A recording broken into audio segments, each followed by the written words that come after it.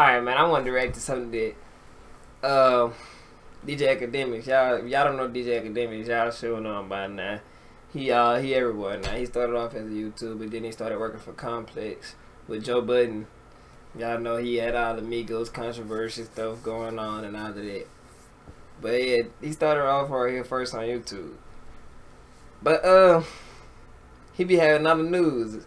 I like I like all the stuff he be having. He be having going. He be having some good content going on. But he just be like he just they be they, just be treating him bad, man.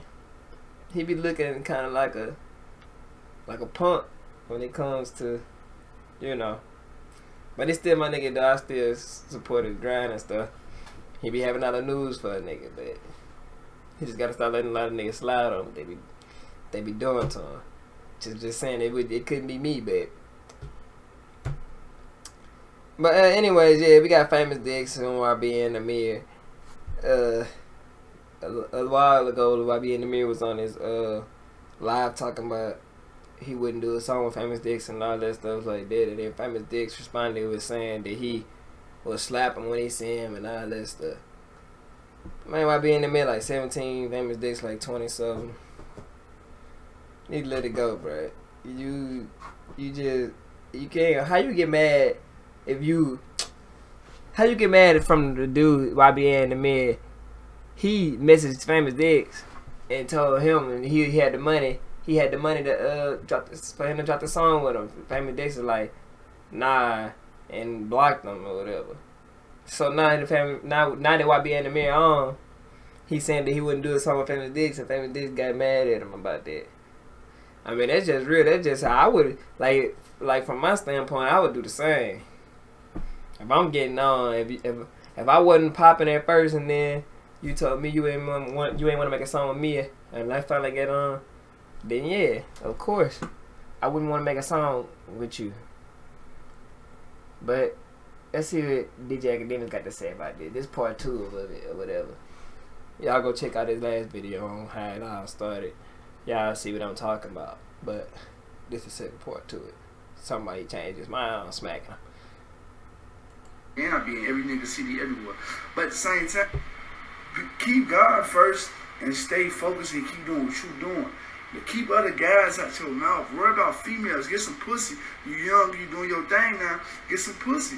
You know, it's time to fuck now. It's time to get some pussy. Now, for real, it's time to fuck these bitches now. It's time to fuck these bitches and get some cheese, get some money all that beefing with him for all that other shit, getting on live and talk about other niggas, that shit gay. That's some gay shit. You know what I'm saying? Just, you gotta you gotta stay focused and keep God first. It's 2018. Your new revolution should have been. You know what? I ain't gonna think about 2014. you know what I'm saying? You gotta get some money, baby. You can't beef and get money. It's it don't add up. I get the chicken. Dex ain't got no beef for nobody, man on my son. Be here on my daughter. I, I don't even know you, little bro. You 2014, I get so fucking high. If I blocked you, I didn't block the world. If, if you feel some type of way I blocked you, little bro, life is kind of short, man. How the fuck somebody go bring something up four years ago? Now, that's what I don't understand. My girls do that. My old hoes do that. You remember I sucked that dick in 2014, nigga? Now you up, nigga? That's what my bitch, no, that's what my girlfriends do. Stupid, On some real shit. My girls, they, they, my old bitches be DMing me. You remember I sucked that dick in 2014? Now I can't suck that dick in 2018. Nah, baby, because it's a new year. and it's new year. you know what I'm saying? That nigga crazy, man. It's just, it's new everything, man. Yeah. It just, and just knew everything. You can't beef and get money, man. So, what that being said is, Dexter has no beef with nobody. On my son, Dexter be everywhere. Dexter don't care. Colorful hair. Diamonds not in my ear. nigga freestyling to Sipping lean, not no beer. But I don't sip lean no more because it cover my ear. you know what I'm saying? Dexter. Check check it out now, man. Yo, famous Dex might be the new Big Gucci soldier, man. Y'all remember when Soulja Boy was going through a range of emotions? One day he was beefing one nigga, the next day he squashing, the next day he blamed it on the weed, the next day he claimed he ain't got no lean, so he had to go off. The next day he said that's his brother. Like, what the fuck going on now? Famous Dex, after just yesterday, he says he was gonna slap Earth, Wind, Fire, and a GTA mission out of goddamn YBN Nahmir. He said ain't no God beef. dang, What? slap all that out of him? No.